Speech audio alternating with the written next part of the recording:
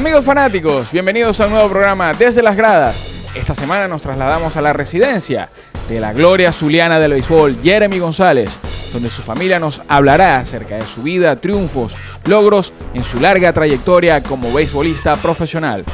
También estaremos rifando esta semana estas dos revistas de béisbol, autografiadas por Luis Aparicio y David Concepción. Para ganártela solamente tienes que enviar la respuesta a la pregunta de la semana. ¿En qué equipo de grandes ligas debutó el gran Jeremy González? A los números y redes sociales que ves en este momento en pantalla. Y el Desde las Gradas de esta semana comienza ya. En dicha vez, desde las gradas. Omar Vizquel desde las gradas. El 8 de enero de 1975 nace en la ciudad de Maracaibo Jeremy II González Acosta. A la corta edad de 16 años, decide por iniciativa propia probar suerte con el equipo Águilas del Zulia, según nos cuenta su tío José González. Resulta que agarró la mochilita, se fue para el Luis Aparicio, había, una, había un corte de las Águilas del Zulia y él mismo solo, sin nadie, no le dijo al papá, no- a nadie, a nadie. Eso fue en el 89-90, ¿Qué edad tenía Jeremy en ese entonces? ese que tenía 16 años. Imagínese usted, ¿y en qué liga jugaba? Él jugó toda la vida con Coquibacoa. Ya desde muy temprana edad, Jeremy mostraba señales de ser un pitcher aguerrido y de su amor por estar en un terreno de béisbol, como nos cuenta su tío José González en una anécdota de sus primeros años como beisbolista. O sea, hay una anécdota que te la voy a cantar de, de, Coquibacoa en el Mundial Juvenil. Resulta que ese muchacho eso pataleaba y peleó porque él no jugó, porque él no hacía nada, porque solamente le dieron un inning y le dije yo, "Ve, eso es bueno. Eso es bueno porque no te queman. Los demás, bueno, los, los ponían todos los días y pichaban todos los días. El brazo tuyo está sano. Los demás vamos a ver cómo vienen. Resulta que el mejor pitcher de aquel entonces, un muchacho llamado Lenin Rodríguez, no llegó nunca nada, porque lo quemaron en el juvenil. O sea, pichaba todos los días y le salió una bursitis. Por lo tanto, hasta ahí llegó. En cambio, él, muchacho sano, llegó prácticamente, bueno, poco a poco, porque en ese entonces era muy difícil firmar a los peloteros. No era tan fácil, ahora es un poco más, más fácil. En el año 1989, a la edad de 16 años, Jeremy González es firmado por primera vez por las Águilas del Zulia. Se va al, al- a Luis Aparicio, llega allá, le toma la velocidad, bueno, y de una vez le dicen, llame a su padre. Así sencillamente, no es que tal porque era menor de edad. Y lo firmaron a esa edad de 16 años. ¿No, no recuerda usted a qué velocidad le midieron la recta a Jeremy en ese entonces? La primera recta fue 89-90. Claro que me acuerdo, esa fue 16 años. Y por eso es que firma de una vez. cosa. Eh, eh, ¿Cómo fue la historia de cuando él le- lo firman y llega acá? ¿Cómo, ¿Cómo fue eso acá en la casa? ¿Cómo dio la noticia? Bueno, eso fue grandioso. O sea, eso, imagínese usted firmar al profesional, eso todo el mundo aquí alegre, todo el mundo. Eso fue un día de fiesta. Por decir algo, un día de fiesta para nosotros, para la familia, para todos. Y bueno, y, y- y entonces venía lo bueno. A la edad de 17 años debuta con el equipo Águilas del Zulia. Su tío recuerda su temple y su valentía al salir a pichar con esta anécdota de sus primeros brillos como novato.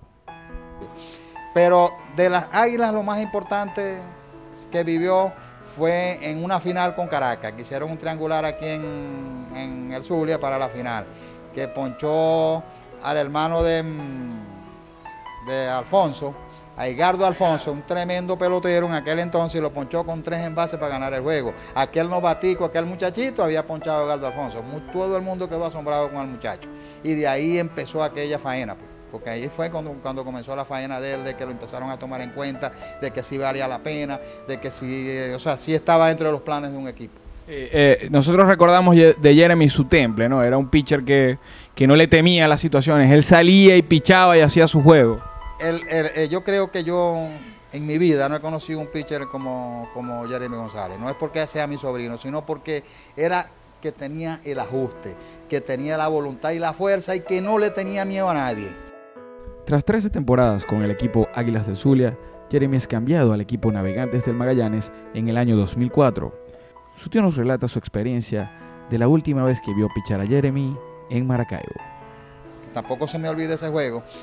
Este, el día de su cumpleaños, El último juego que tiró aquí con Magallanes, 9-0 que le pichó a las águilas. Desde el cuarto inning eran groserías y groserías, eso le decían de todo. Y aquel nomás que señalaba al público con un dedo y le hacía al público y le volvía a hacer al público en cada inning, hasta que llegó a los nueve innings.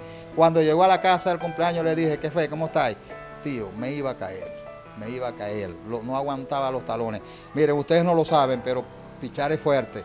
Él se enrollaba con, con tirro los tobillos para poder llegar, o sea, para poder llegar a esos innings, eso tenía que hacerlo porque es fuerte. La gente cree que eso es muy fácil. Bueno, y él me dijo, casi no llego, pero le metí nueve arepas. En el año 1997, Jeremy es llamado de los Estados Unidos para subir a jugar con el equipo Chicago Cubs, con el que estableció récord de 11 juegos ganados y 9 juegos perdidos, lo que le valió el noveno lugar en la votación para el novato del año 2004. Bueno, lo que le puedo decir es cuando, cuando picha el primer juego que sale con aquel. Nosotros nos fuimos a ver el juego por allá, Toñito, Toñito nos dijo, nos invitó que estar a ver el juego. Bueno, y nos fuimos, su papá, su mamá, me fui yo, las hermanas, eso bueno, eso salimos todos. Y aquel muchacho salió con aquel temple con él. yo, yo era uno que decía, no, ese le va a pegar. Ese le decía yo al padre al lado, ese le va a pegar. No, mijo, eso no le pegó nada. Ese no le pegó nada. Era el quinto, sexto inning y ahí estaba parado igualito y ganó el juego. Ganó el juego y desde ahí demostró lo que era. Bueno, siempre lo demostró, pero ahí lo demostró. No le tenía miedo a nadie, no tenía que ver y después nos dijo, a mí no me interesa, yo le tiro la reta a quien sea, tío, y al padre también, yo le tiro la reta a quien sea. A mí no me interesa que esté bueno o que esté malo, pero la gente era muy injusta. El Zuliano a veces es muy injusto con su pelotero. Es injusto en ese sentido. Entonces yo decía, cuando él se va de las águilas, él no se va porque él se quería ir, sino que lo, o sea, se lo llevaron o lo hicieron ir, pues lo cambiaron, pues. Entonces él pagaba los platos rotos con aquellas groserías, con todo lo que, pero siempre le demostró que aquí estaba presente. Aquí estoy yo si no me han visto, le decía al público del Zulia. Inclusive, la otra anécdota que tengo es que yo creo que él volvía a las águilas del Zulia.